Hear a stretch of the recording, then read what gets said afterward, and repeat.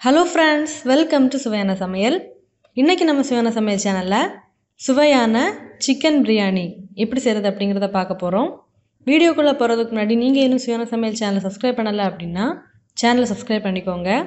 கூடவே பக்கத்தில் இருக்கிற பெல் ஐக்கானை கிளிக் பண்ணிக்கோங்க. வாங்க வீடியோக்குள்ளே போகலாம் பிரியாணிக்கு தேவையான மசாலாவை ரெடி பண்ணலாம். அதுக்காக ஒரு மிக்ஸி ஜார் எடுத்துக்கோங்க. இதில் ஒரு டீஸ்பூன் மிளகு ஒரு டீஸ்பூன் சோம்பு ஒரு டீஸ்பூன் ஜீரகம் ரெண்டு டீஸ்பூன் தனியா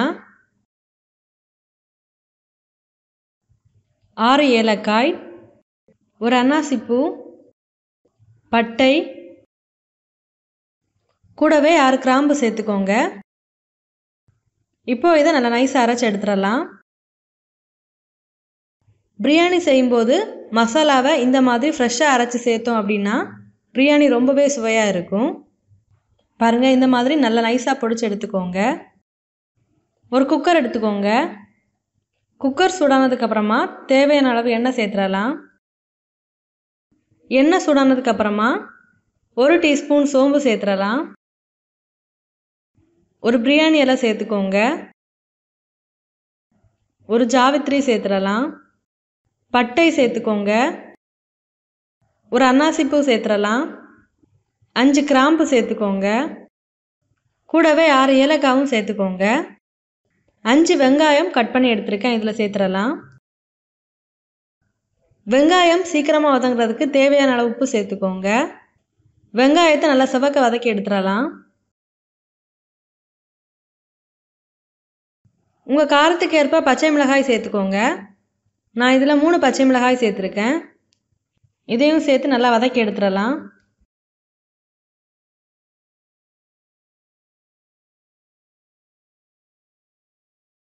பாருங்க வெங்காயம் நல்லாவே செவக்க வதங்கி வந்தாச்சு.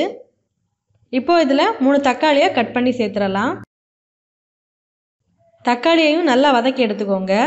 இதில் நம்ம சேர்க்கிற எல்லாத்தையுமே நல்லா வதக்கி எடுக்கும்போது தான் பிரியாணியோட சுவை ரொம்பவே நல்லா இருக்கும். அதனால் வெங்காயம் தக்காளி எல்லாத்தையுமே நல்லா வதக்கி எடுத்துக்கோங்க.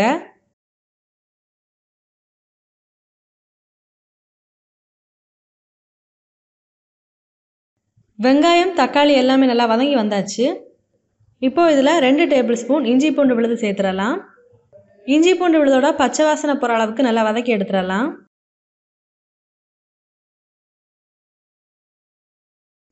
இஞ்சி பூண்டு விழுதோட பச்சை வாசனை போனதுக்கப்புறமா இதில் கொஞ்சமாக புதினா சேர்த்துக்கோங்க.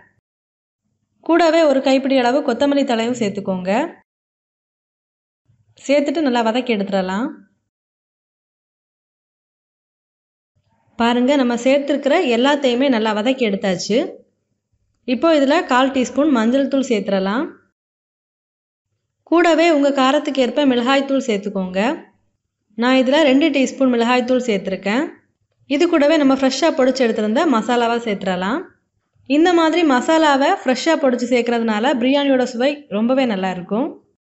இந்த மசாலாவோட பச்சை வாசனை போகிற அளவுக்கு நல்லா வதக்கி எடுத்துடலாம்.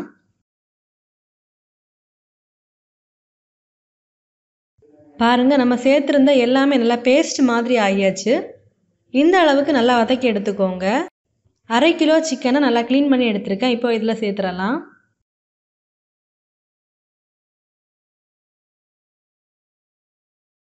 இந்த மசாலாவோட சேர்த்து நல்லா கிளறி எடுத்துடலாம். நம்ம சேர்த்துருந்த எண்ணெய் நல்லா திரிஞ்சு வர அளவுக்கு நல்லா கிளறி எடுத்துக்கோங்க. இதில் தேவையான அளவு உப்பு சேர்த்துக்கோங்க. பாருங்கள் எண்ணெய் நல்லாவே திரிஞ்சு வர ஆரம்பிச்சாச்சு. இப்போது இதில் இந்த சிக்கன் வேகிறதுக்கு தேவையான அளவு தண்ணி சேர்த்து நல்லா கிளறி எடுத்துடலாம்.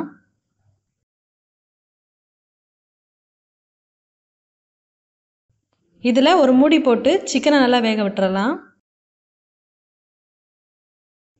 இந்த மாதிரி இடையில நல்லா கிளறி விட்டு வேக வச்சு எடுத்துக்கோங்க. சிக்கனை முக்கால் பதத்துக்கு வேக வச்சு எடுத்தால் போதும். இப்போ ஒரு பாத்திரத்தில் தண்ணியை சுடு பண்ணிக்கோங்க.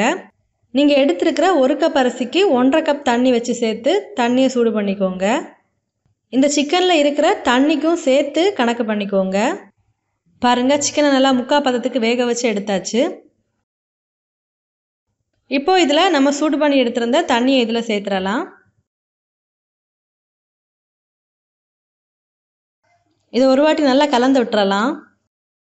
பிரியாணி அரிசி அரை மணி நேரம் தண்ணியில் ஊற வச்சு நல்லா கழுவி எடுத்திருக்கேன். இப்போ இதில் சேர்த்துடலாம். பிரியாணி செய்யும்போது அரிசியும் கறியும் ஒரே அளவில் சேர்த்திங்க அப்படின்னா ரொம்பவே நல்லாயிருக்கும் இந்த அரிசி உடையாமல் ஒரு வாட்டி நல்லா கலந்து விட்டுறலாம்.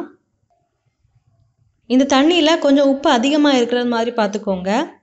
அப்போது தான் பிரியாணி குக்காய் வரும்போது உப்பு கரெக்டாக இருக்கும். இதில் கொஞ்சமாக கொத்தமல்லி தழை சேர்த்துடலாம். பாருங்கள் தண்ணி நல்லாவே கொதிக்க ஆரம்பிச்சாச்சு. இப்போ இதை மூடி போட்டு மூடிடலாம். இதை மீடியம் ஃப்ளேமில் பத்து நிமிஷம் வச்சு எடுத்துடலாம். இப்போ ஒரு கடாய் எடுத்துக்கோங்க. இதில் ரெண்டு டீஸ்பூன் நெய் சேர்த்துடலாம்.